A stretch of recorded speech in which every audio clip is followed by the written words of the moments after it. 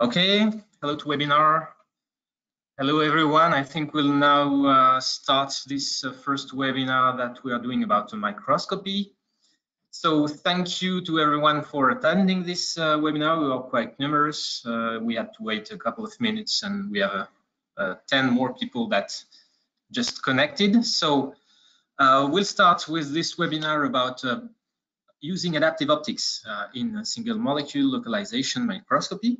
Uh, in particular uh, optimizing the point spread function. So um, let's first uh, look at the outline of this presentation. Um, we will be two presenters uh, here today. So me, Fabrice Harms, uh, I'm a scientific coordinator at Imagine Optic. I will first uh, present you the context of adaptive optics as used in microscopy, aberrations, uh, basics about adaptive optics and how it can be used for single molecule localization microscopy.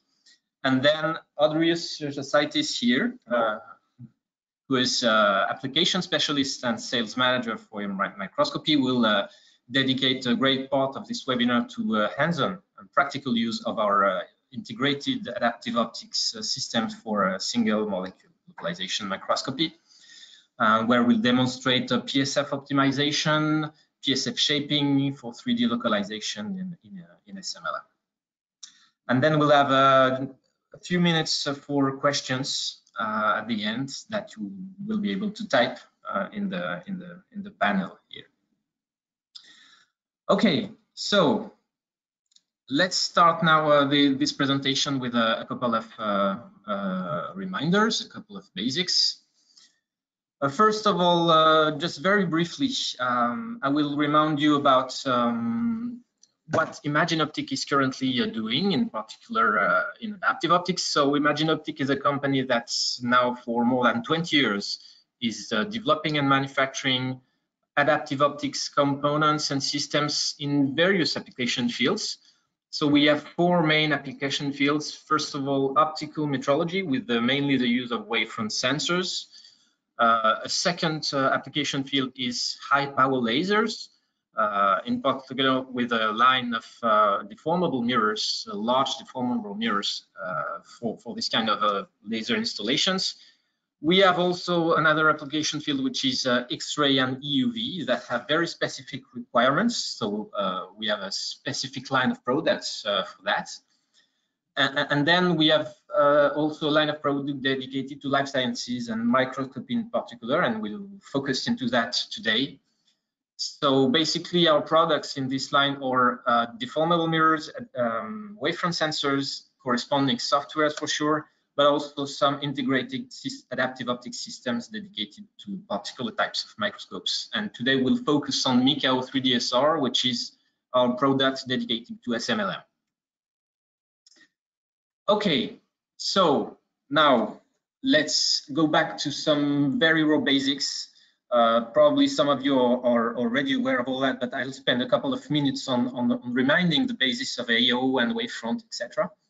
So first of all, uh, adaptive optics in microscopy. So as probably all you know, there are, let's say, three main reasons why microscopy image quality is uh, sometimes uh, very degraded.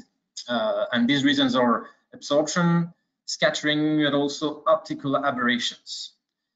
So as soon as uh, your optical system, your optical microscope is not a perfect optical system, there are some optical aberrations that are here and that degrade uh, the image quality, but also as soon as you go in imperfect uh, samples, which is, let's say, nearly the case, uh, there are some optical aberrations, in particular in depths, and all these aberrations are responsible for both loss of signal, but also uh, responsible for loss of resolution.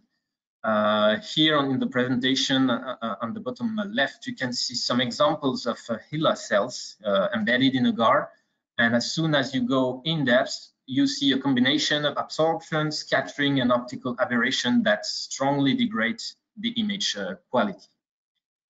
And now for, uh, let's say, more than 10 years, it has been uh, demonstrated that adaptive optics can uh, definitely correct aberrations. So only the this part of, of the, the, degradation uh, origins uh, and imp strongly improve the, the fluorescence signal. And it has been demonstrated in various uh, microscopy modalities, including two-photon, confocal, light sheets, and, and single molecule localization microscopy. And, and we'll focus today on, on this part, the single molecule localization microscopy. Okay, so now within one minute, just some basics about the wavefront for those who are not uh, fully aware about that. So the, the wavefront, uh, as defined is in a geometric approach, is uh, the surface that's orthogonal to all rays. So when you consider a perfect point source, either it's collimated or diverging, the wavefront is either flat or purely spherical. But as soon as uh, the point source is for example, crossing some imperfect uh, medium, then the wavefront is aberrated and, and strongly distorted as represented here. And when now considering the focusing point that comes from this wavefront, uh, the point spread function, so the PSF, is degraded in the presence of aberrations. So the shape of the PSF is strongly uh, disturbed. And here are a couple of uh, the main aberrations that are uh, present in uh, optical systems. Here, this is the third order. We have, for example, astigmatism here. And the point spread function is here when looking at through Z, coming from a line to, uh, to an enlarged focus and to another line orientated 90, at 90 degrees. For coma, we have a PSF, a point spread function that has uh, the comet here. And for spherical aberration, which is very important in microscopy, here the point spread function uh, around the focalization point is very uh, quickly uh, enlarged by, uh, by spherical aberration. So the general idea is that this aberration mathematically can be described as a set of polynomials that are usually Zernike polynomials uh, as defined on a circular pupil, as described here.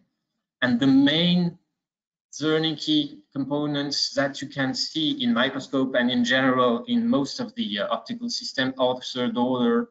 So trefoil coma, spherical aberration, astigmatism here, and we'll focus uh, into this aberration later on during the hands-on. Okay, so here a quick link to single molecule localization microscopy and PalmStorm in particular, uh, because this is what we will focus on during the hands-on. Uh, this is linked between the PSF and, and, and PalmStorm. So as you all know, uh, just very raw basics, uh, PalmStorm is based on, on wide field excitation of the sample and each fluorophore randomly em emits some photons and these photons are gathered by the optical microscope and form a point spread function at the level of the camera. And the point spread function here is very critical in terms of the quality of the image uh, because uh, PalmStorm is based on localizing this PSF and, and, and using fitting, being able to very accurately determine the position of the center of this PSF. And this is also true in 3D localization because usually, usually 3D localization makes use of a particular PSF shape. And as soon as this particular PSF shape is not exactly what it is expected to be, then 3D localization also is also degraded in the presence of aberrations.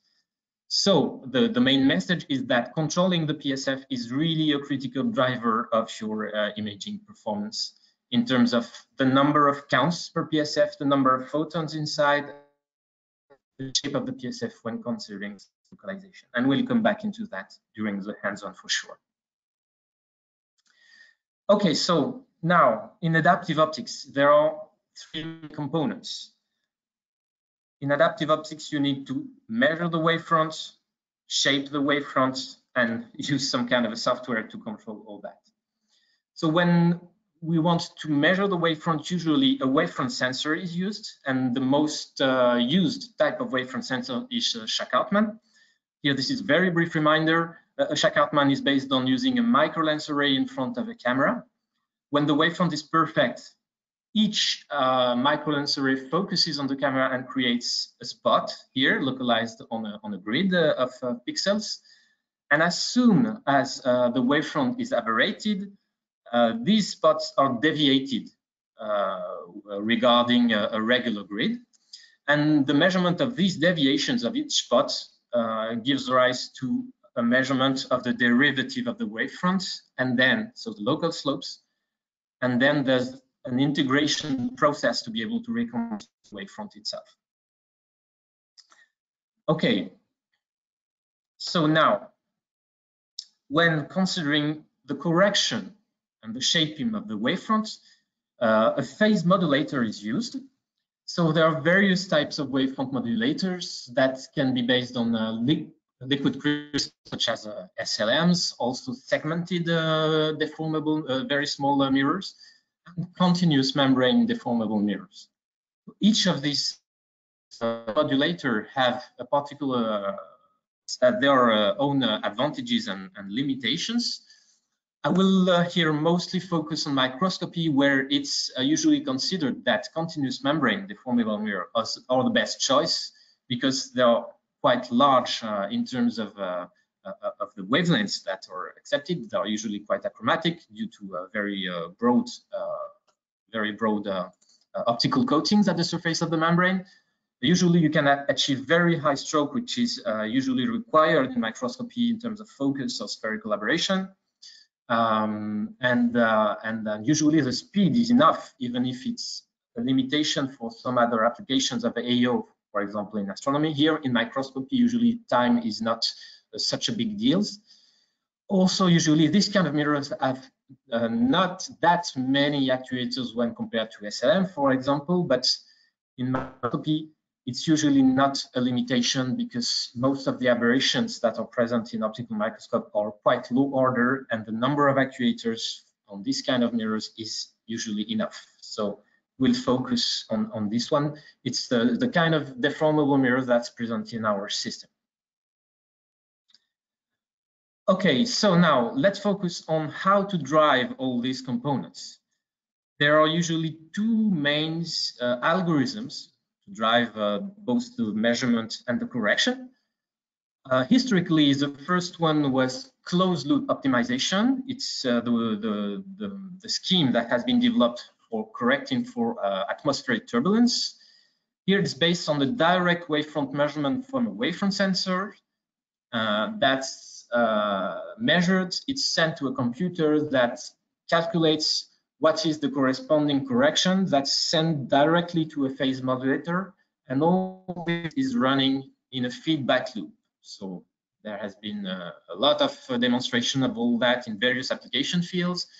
Um, the positive thing here is that it's quite fast to be able to converge to the right correction the accuracy of the measurement is very good because it's, it's, it's based on a direct wavefront measurement from sensors. But uh, the main limitation here for some application is that to do that, you need to have a guide star, which means a, a point source that emits a perfect wavefront. Okay, so now let's go back, let's go to the second uh, way to control uh, adaptive optics, which is image-based uh, algorithms. Here, it's particularly interesting in, uh, in the case where you don't have any guide star, which is usually the case in microscopy because you don't necessarily want to embed a particular fluorescent bead, for example. Uh, it's, it's uh, usually not possible to do that or uh, not uh, something you want in terms of biology. Here, the idea is to use directly the image that's uh, acquired by uh, the camera of your microscope, for example. And on this image, you define a merit factor, so an image quality uh, metric, say. So for each of the image of the camera, the merit factor is evaluated. And here, the wavefront is sequentially modulated for, for example, for each Zernike coefficient. The wavefront is modulated in a predefined uh, manner, and there's an evaluation of this change of the wavefront on the merit factor. in order to determine what's the best shape in terms of a particular Zernike to achieve the best merit factor. And all that is repeated for various Zernike polynomials. And that you have a set of optimal Zernike polynomials to be able to correct for the aberrations. So this is uh, a scheme that's working quite well when, when you don't have any guide star. Uh, another advantage is that even if you have some uh, level of scattering, it's still able to, to, to work uh, and to define a, a, merit factor on the image. And the main drawback of that is that it requires some, uh, some uh, significant amount of time as compared to direct waveform sensing, which can be responsible to some bleaching of the, of the sample. So it's usually not something that you want to use for imaging in microscopy, for example there's quite a lot of uh, literature about that, uh, various uh, algorithm merit factor that has been defined in the past. Okay, so how does this work, this uh, image-based algorithms? Because uh, we'll focus here on that because this is what we use in our uh, adaptive optics system for SMLM. So concretely, as, as we said, we use here a, th a 3N type of algorithm where the merit factor here is defined as the maximum intensity of the image. And for each Zernike mode, three images are acquired with uh, a different uh, aberration level. Okay. For example, let's consider, uh, let's say, one aberration, spherical aberration, for example. The first measurement of, of, the image quality, which is here, for example, one single bead is, uh, is acquired. Then a predefined amount of aberration, which is probably here uh, astigmatism, is applied on the mirror, the merit factor is the inverse uh, amount here, for example, of astigmatism is applied and also the merit factor is evaluated on the image. And at the end, it has been demonstrated that the evolution of the merit factor with various levels of aberration is following a quadratic curve. So based on this three measurement, it's possible to fit to a parabola and to de determine the optimal value that's able to come to the best merit factors, the best image quality. So all this is repeated for certain number of uh, Zernike modes. Typically in microscopy, third order are uh, good enough to uh, very uh, strongly improve image quality. So this is definitely an iterative sequential algorithm as described before. And typically roughly about 40 images are necessary to achieve a good correction. But we'll demonstrate that during the hands-on just afterwards. So okay, now um, let's focus on our particular system dedicated to SMLM. This is a MicAO 3DSR, which is quite a plug-and-play system. Here everything is embedded in, in this uh, blue box. Um, and roughly, the, uh, well, briefly, the main feature is that it's compatible to various uh, objective types and various uh, cameras. Um, it can be optionally, uh, it can integrate a, a wavefront imager. It's very stable, so stability of the deformable has been uh, has been uh, increased because usually these kind of deformable mirrors can show over a long period of time very strong dependence to temperature and it can be implemented on both several microscopes. So the general message is that this system has been really uh, optimized for uh, SMLM and PalmStorm systems. Uh, so just some illustration of what I said before. The idea is that with this system, it's possible to perfect the PSF. So correct for most common aberration that you can find in your microscope coming from this type of PSF that's degraded due to the presence of aberration to an optimized one. Uh, and you can definitely see here that uh, there's a, a, great effect in terms of signal to noise ratio because all the photons are gathered and, and, and put back in the right place, let's say, at the, at the, really at the focusing point. So there's an effect in signal to noise. Um, when considering 3D localization using PSF shaping, for example, here using astigmatic uh, PSF, the idea is that by correcting aberration, you can go back to a pure astigmatism uh, that's not degraded by uh, residual aberrations. And for sure, then the uh, localization precision is uh, strongly increased because the calibration curve is uh, coming back to a linear function, uh, which is not the case with the residual aberration, as we'll see during, for example, during the hands-on. And as a result, um, because uh, SMLM is usually, usually based on localization algorithms, um, uh, when in the presence of optical aberration, usually these algorithms are rejecting uh, false PSFs or degraded PSF. Here, by correcting uh, for aberrations, the PSF are strongly uh, strongly improved and an algorithm will reject less uh, counts. So you increase definitely the number of counts. Um, in terms of 3D localization, you restore the axial symmetry. There's more photons per PSF and as a result, as you can see here on this image, the number of counts is strongly increased. Okay, just a, a brief uh, focus on uh, on 3D localization using, for example, astigmatic PSF. Here, this is just an example with a 200 nanometer fluorescent bead at about 30 micron in depth. And before correction, you can see with this uh, XZ and YZ uh, PSFs that the asymmetry of the astigmatic PSF here is lost over a wide range, which means that in this range, it will not be possible to say if uh, the fluorescent emitter is localized here or here. As a consequence, the calibration curves are strongly distorted, okay? Now, if we correct aberration, this symmetry of the PSF is restored. You can see uh, here. And as a result, calibration curves are corrected and localization precision will be strongly uh, increased.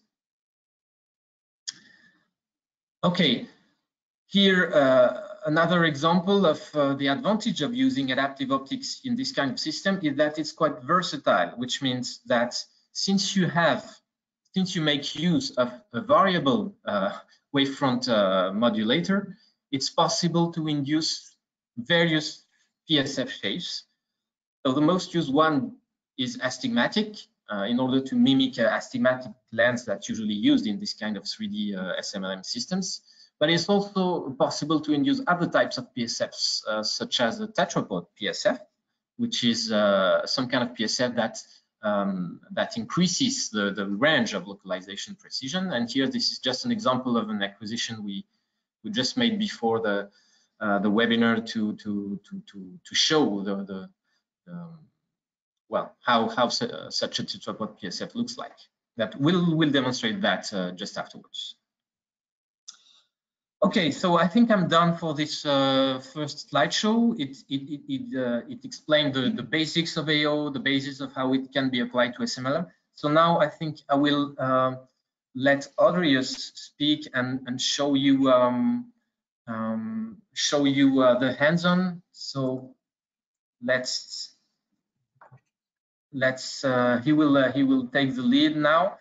And uh, after the hands-on, uh, you will be able to uh, to ask questions. Uh, there's a particular questions uh, area here in in your panel, so I uh, I will take the lead on on, that after the hands-on part.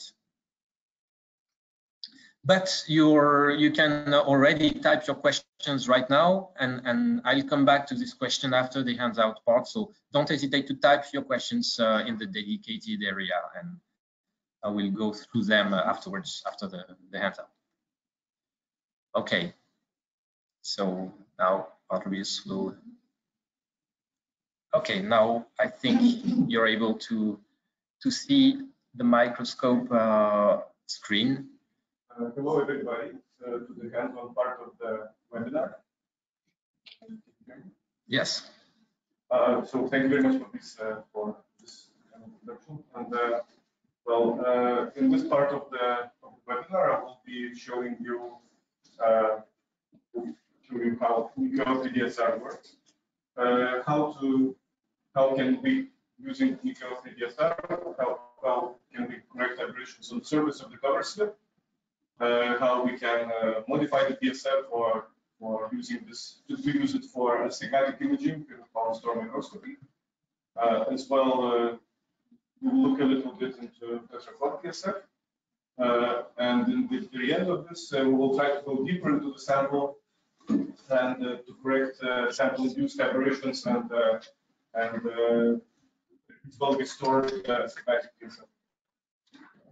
Uh, so some words about uh, about DSR. Uh, Fabrice already presented it uh, in details, but uh, here you can see it uh, connected to the, the inverted frame from Leica. Uh, this uh, frame been kindly provided by Leica France, so we appreciate uh, their help. Uh, and uh, so the device can be attached to any inverted frame microscope, and it basically acts as an image relay between the image plane at the exit of the microscope and uh, brings the image back uh, at the exit of VCL. And on the way uh, uh, uh, inside the VCL, it basically we organized one more backfocal plane and where we put the deformable mirror. Uh, in order to act on the face, the deformable mirror has to be in the back.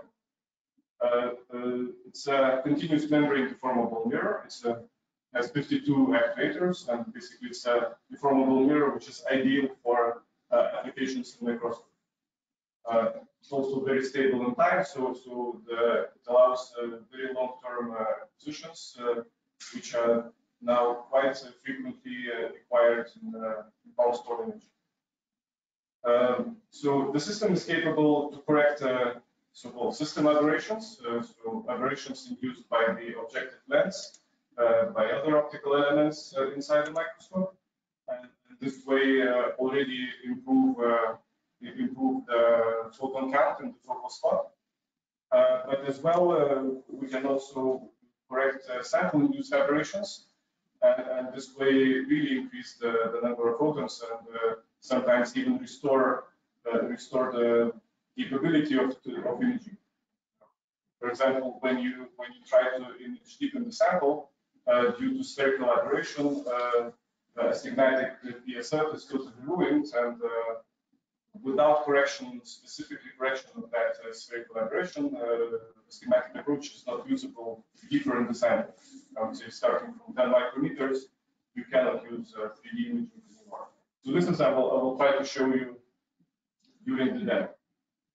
Um, the device is typically installed and we uh, we fix it to the table uh, for as the first uh, as the first uh, calibration. Let's say we use the Shack-Hartmann wavefront sensor, which we replaced we replaced the imaging camera and we attach Shack-Hartmann wavefront sensor, and we do the calibration of the of the deformable mirror using uh, point source on the on the sample level. Um, the uh, and then after calibration, we do the first uh, approximation, the, the closed loop optimization, as Fabrice uh, described a couple of minutes ago. So this gives a first starting point uh, for uh, correcting calibrations. Uh, after that, we replaced the wavefront imager with the camera, and and further optimization of the point spread function we make using image-based algorithms uh, uh, like 3N uh, using maximum density as an experiment. Okay, so I guess I will start sharing my screen then, and we'll, we'll show how spread function looks like. I hope you will be able to see my screen. Uh, okay, so for, for this uh, this webinar, I'm using uh, Micromanager uh, as uh, to, to apply images. So, uh, and uh, on, on, the sample, uh, a sample, I'm, I'm having uh, fluorescent bead. So it's a 200 nanometer diffraction limit. So what, what we see, we really see the spread function of the microscope. Uh, and uh, at first I will uh, show you how that well-optimized PSF looks like. Uh, so this is what I did optimization just not long ago. So if you go in, and out of focus, you, you, can see here you can see the uh, intensity. So we have about 20,000 counts in focus. And when, when we go out of the focus, the intensity goes diminishes very quickly. And uh, we see such a featureless, let's say, uh, on both sides of the focus, uh, quite similar way. But, uh, but the key point is that the, the, the intensity goes down very quickly. Here we are auto scaling, so so that's why you can see uh, pretty well this noise, but it's really like featureless, uh, featureless noise. Uh, as a demonstration how aberration looked like, uh, Fabrice showed a little bit uh, during the slideshow. Uh, but uh, here we're using our MicAO software. So this is the software dedicated for uh, controlling the device and uh, to induce aberrations and to do optimization using 3M. Uh, so here is the panel which is dedicated for, uh, open loop uh, to add aberrations or to remove aberrations manually. for example, I will add a little bit of stigmatism so you see how stigmatism looks like. if we slowly defocus, we'll see that the PSF extends in one and the other direction. Uh, with uh, some see coma. So you see that the point spread function becomes uh, if maximum intensity goes on, on one side along the focus, if you go in and out of focus. Um, probably the most common aberration is uh, spherical aberration, which uh, there's a feature of non, like a really bright dot on one side of the focus and uh, concentric rings on the other side. So this is what we see uh, typically when we go into, in, into the sample, deeper into the sample. Um, so this is just a demonstration of uh, what the type of aberrations we typically see, and then that there are also higher orders of these aberrations, which we sometimes have to correct uh, in microscopy. Uh, so the next step is to, to optimize uh, to optimize the point spread function, and uh, for that I need to restart my software into remote mode. Uh, because uh, for image-based algorithms, uh, for them to work, we need to take images of the sample, in this case images and uh, basically, we need to establish the exchange of images between uh, the two software, the image acquisition software and, uh, and adaptive optics software. Uh, as an example, I be, let's say, aberrations into the shape.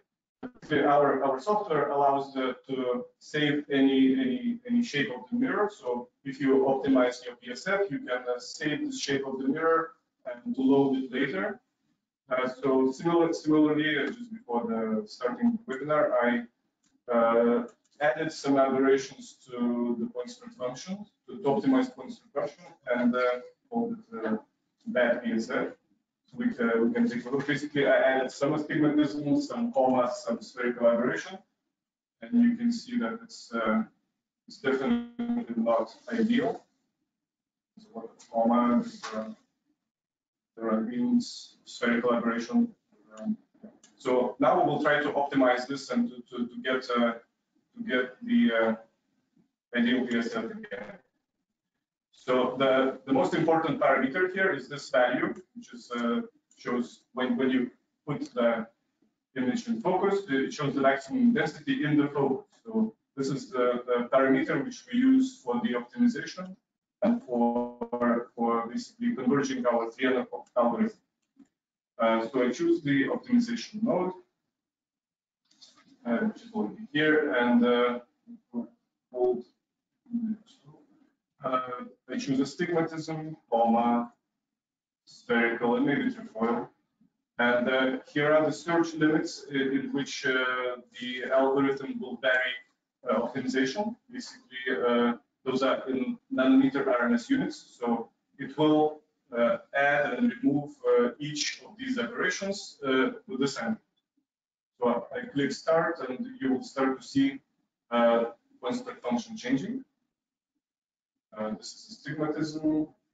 And uh, we following this uh, basically this value. So uh, the starting value was 19,000. And uh, during uh, optimization, so, so now the algorithm goes through all these nodes and we are basically correcting each of them sequentially. And then you can see how the value increases. Okay, so we started with, with 19 and now it's 25. We accept the uh, optimization because it's improved. And we can take a look at the point spread function. How does that look now? So it's already much more symmetrical. Um, and, uh,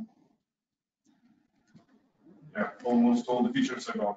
Uh, so the algorithm is sequential, so that means, uh, which means that it has to be repeated in order to, uh, in order to, uh, to be sure that uh, optimization is complete. So what we typically do, we optimize one more time in order to see that the value does not increase anymore.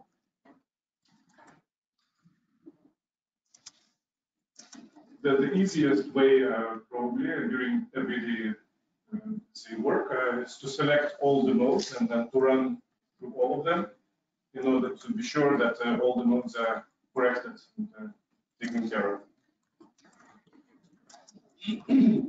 Uh, the speed here, I, I, slowed down a little bit in order to, to see it better. the algorithm can run faster. Uh, it, it, really depends on the acquisition time and uh, exposure time of the camera. Uh, I will also try to optimize higher orders. So um, Zernike nodes of the fifth order, fifth order two astigmatisms again, two comas, very common version, and tetrafoil. It's always a good idea to, to, to run all these, all those nodes, just to make sure that everything is correct.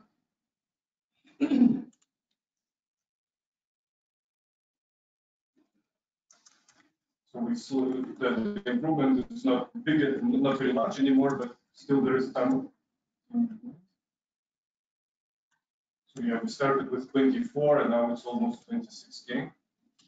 We accept this. Take a look again at the point spread function.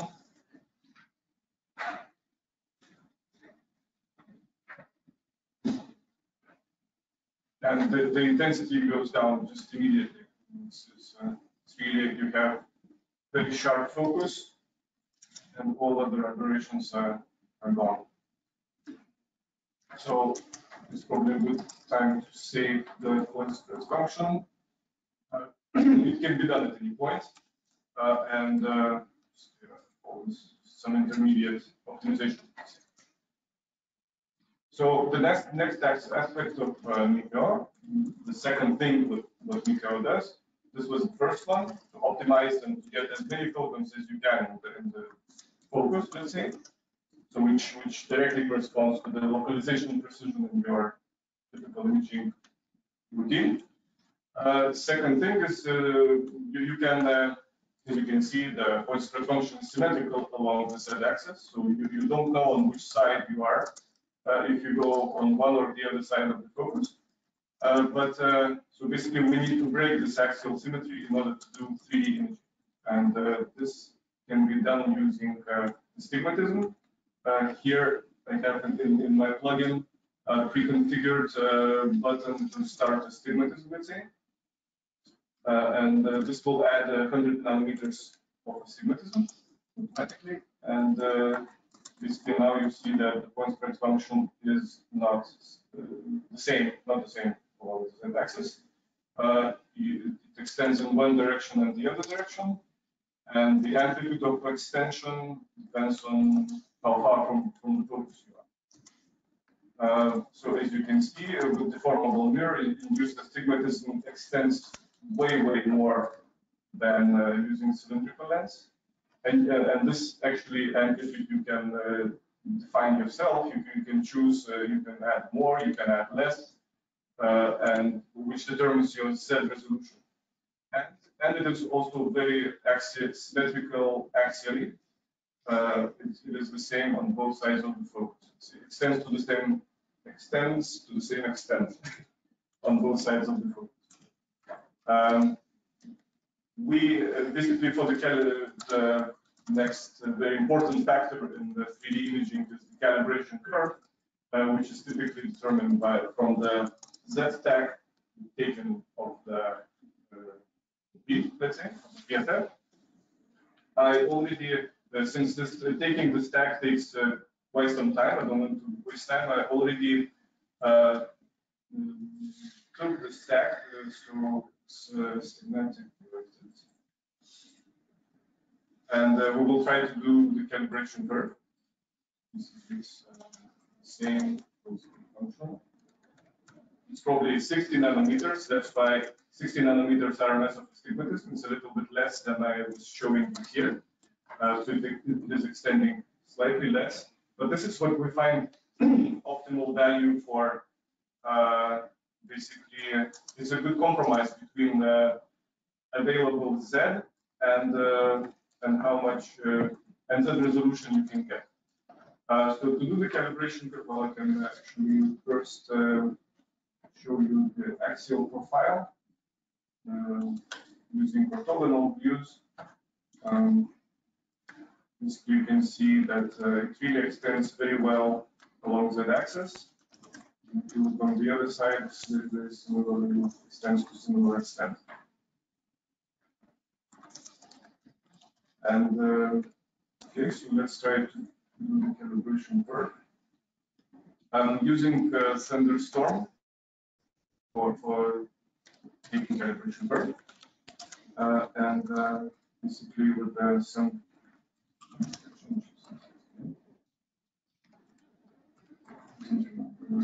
values.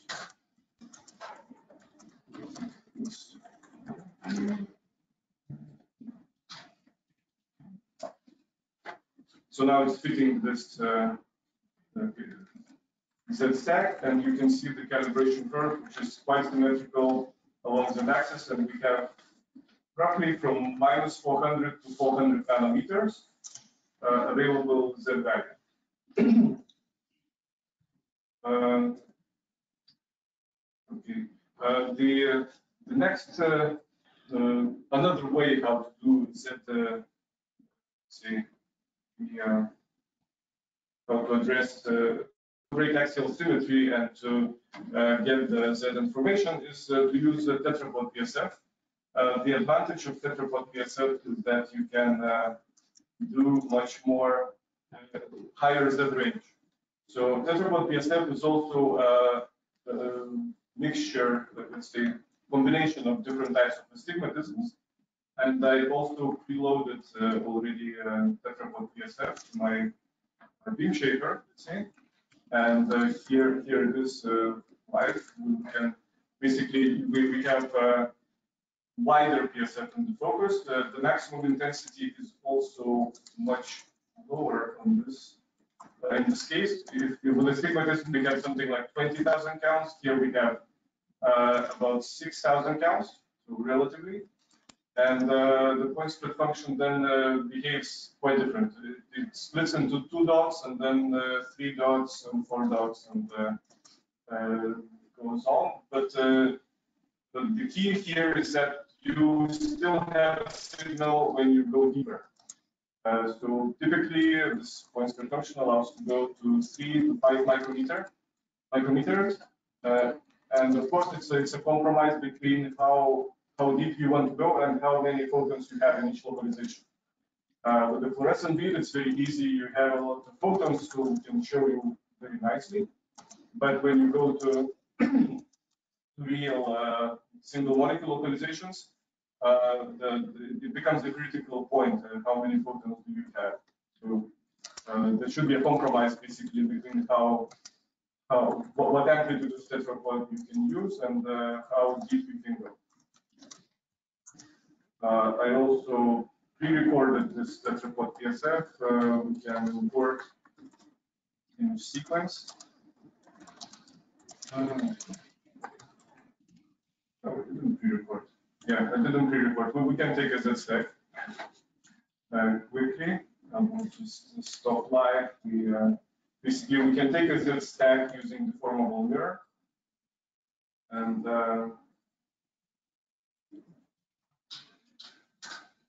since uh, focus is one of, of Zernike modes, so we can uh, use deformable mirror in order to uh, to use that stack. And uh, so, okay, so I have preloaded the TriplePSF, make sure that it's in focus.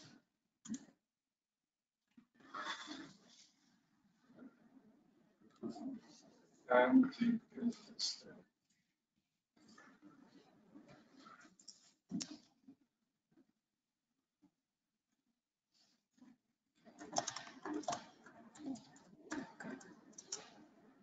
Yes, the advantage of TetraPod is that it gives you much higher Z range, but this is also quite critical in terms of, uh, becomes quite critical in terms of aberrations, because if your Z range is very different and you are in conditions where you imaging with oil objective uh, the water-based sample, you will start, definitely start to see differences between uh, uh different sides of the focus.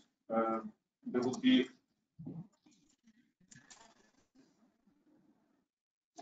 Uh, there would be quite uh, uh, the, PSF would not be symmetrical along the z-axis, unfortunately.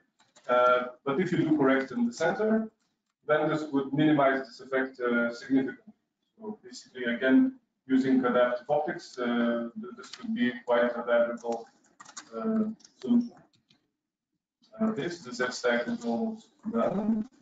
So I will roll this.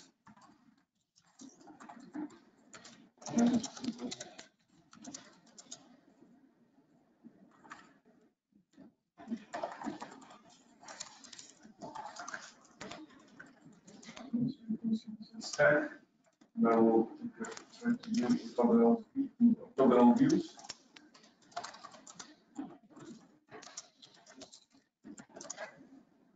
You can see the how symmetrical is the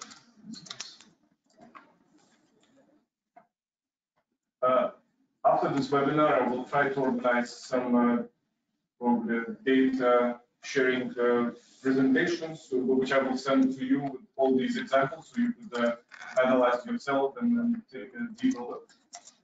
Um, okay, uh, do we still have time for going deeper into the sample?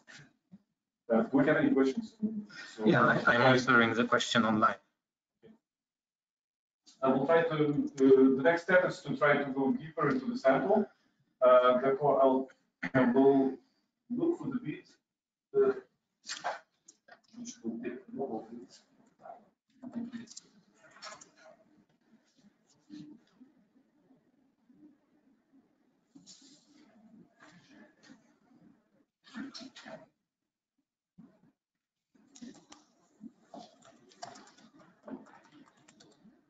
question about the.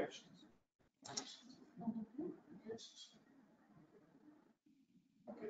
So now we have the shape of the optimized PSF on the surface, and we are roughly at 23 micrometers inside the sample.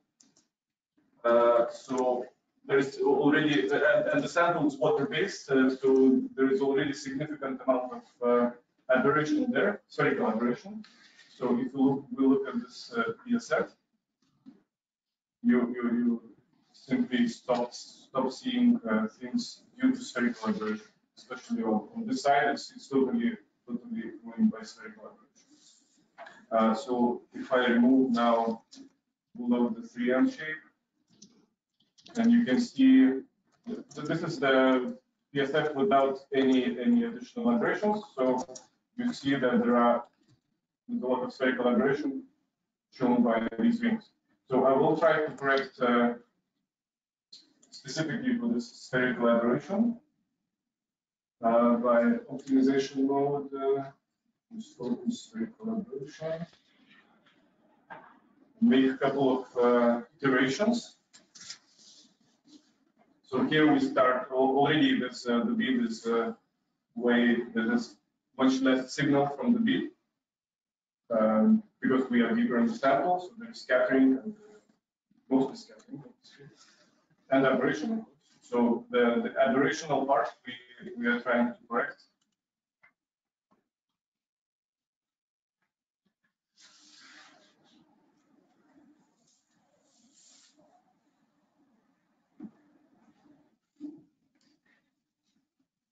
So we start with 5,000 counts. We are closer to nine. This shows as well.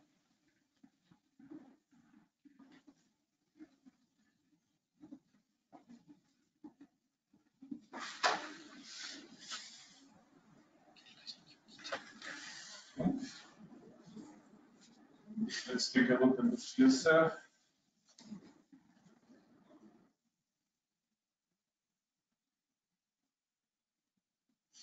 It's already much less rings uh, responding to spherical aberration. And we have closer to 10,000 counts. I will run maybe one more time on the circle.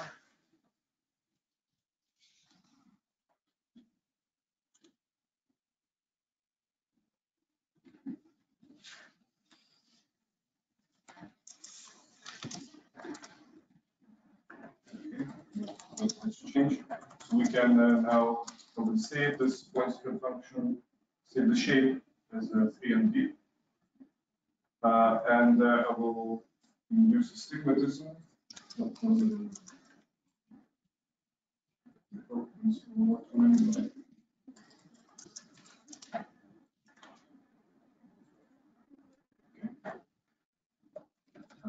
Just induce astigmatism.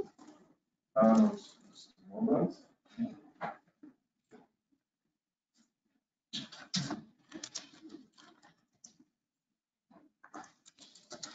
Okay.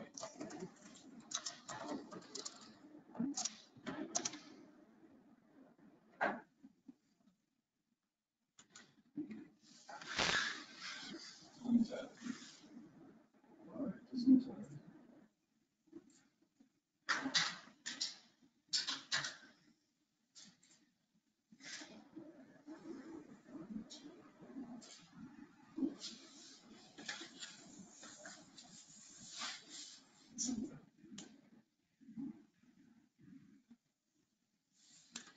I probably need to restart the interface.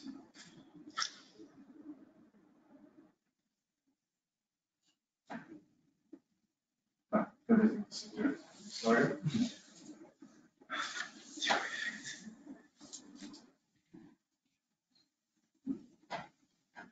So I will quickly restart the software. I'm sorry for that.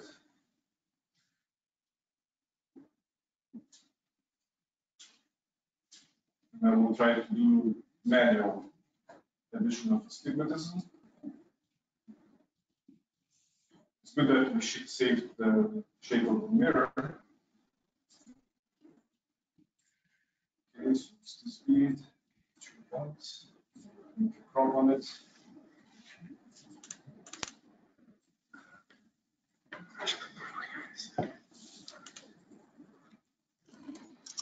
Okay, so this software automatically loaded already the, the last uh, required shape of the mirror, which is uh, optimized at, at this depth. Uh, and I will uh, manually add astigmatism to this.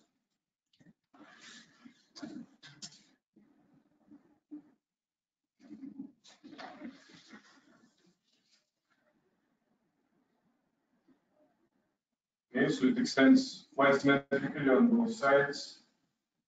And uh, just for comparison, I will load then the shape from the surface, so you will see the difference, how much, uh, how much we corrected uh, due to spherical aberration, let's say. If I add um, astigmatism again.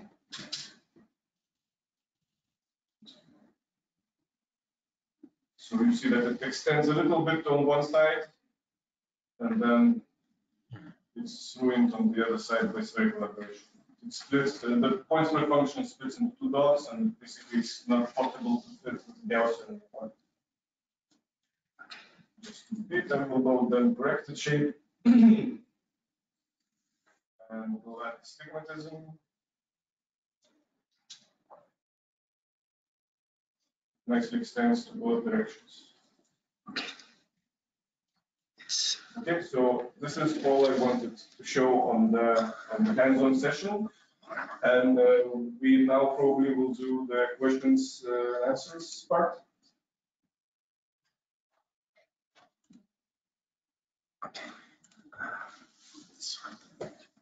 Okay, so I hope you enjoyed um, this uh, live uh, demo.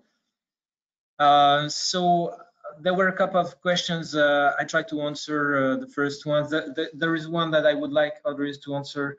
The question was about the refractive index mismatching in this particular demonstration, and also um, what it what was the mounting medium here and buffer. Yeah, okay. So uh, basically, uh, the sample is was um, those are beads beads are embedded in agarose. So you can it's basically a water-based sample. I'm sorry. Uh, yeah, let's start the camera.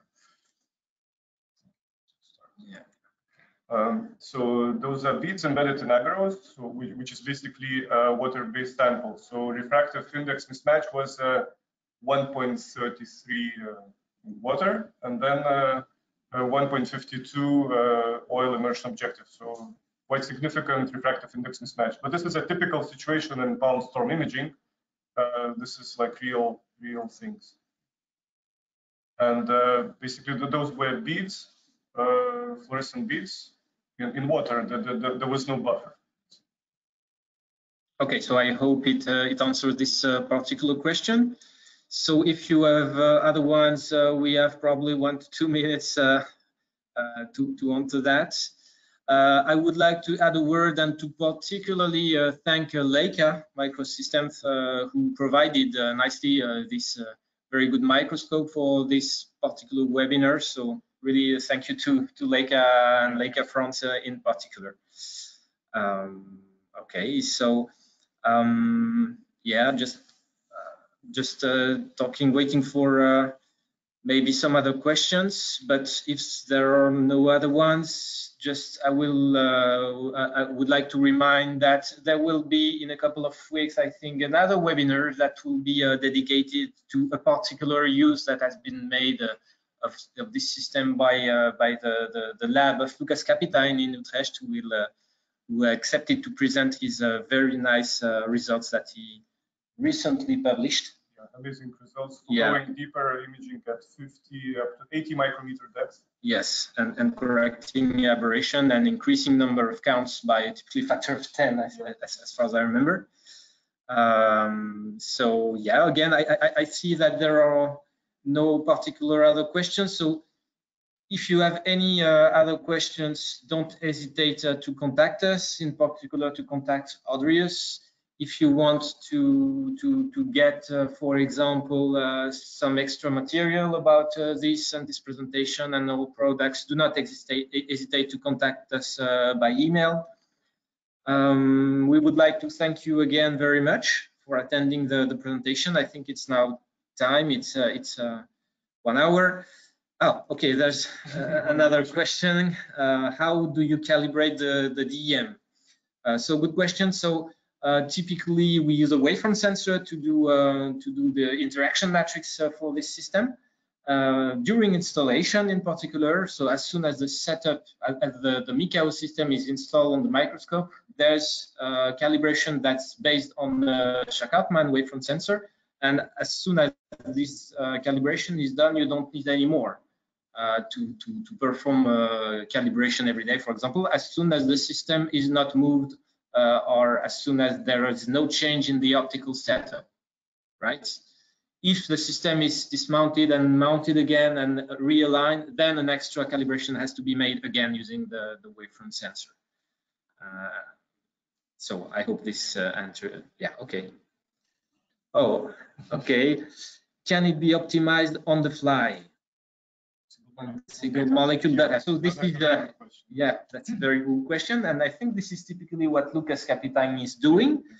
So uh, there's a recent paper in, I don't remember the journal uh, where he published. Uh, I think it's uh, biomedical, optics biomedical express. biomedical yeah, express. Yeah. So typically, uh, it can be done using uh, some particular uh, merit function based on the image. And I think uh, on the work he, did, he used um, merit function based on the Fourier transform on the image. And, and this can be done on the fly. Well, it takes some uh, amount of time to optimize because it's also iterative uh, algorithm and sequential calculation.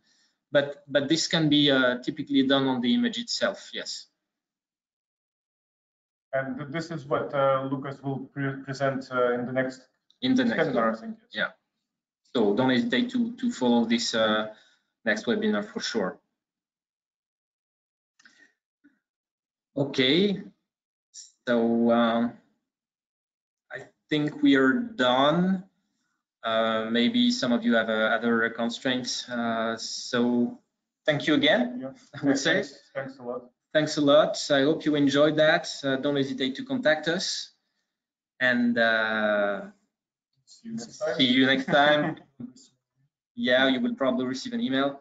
Uh, see you next time at another webinar, or I hope at a conference when we'll be allowed to go to a conference. Don't hesitate to go uh, pass uh, to our booths. Okay. Thank you all and uh, see you soon. Bye-bye. Bye.